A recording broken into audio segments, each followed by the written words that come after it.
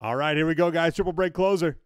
Number two. Top spot's getting in on basketball and golf. Second's getting in on basketball. Third's getting in on golf. Fourth gets the Raiders. Fifth gets the Giants and NT.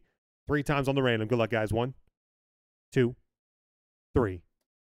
Boom. So, soup, what is that? Basketball, golf, and ba- so two basketball and a golf soup. Oh, Call that a win.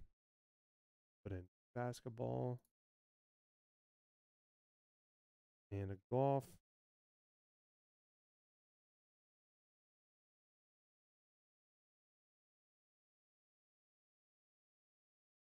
And then Crouch, you've got a spot in SPA golf.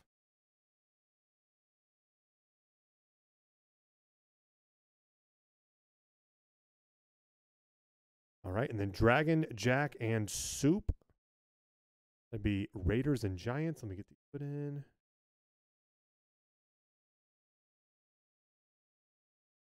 So Dragon Jack on the Raiders, Soup on the Giants and football.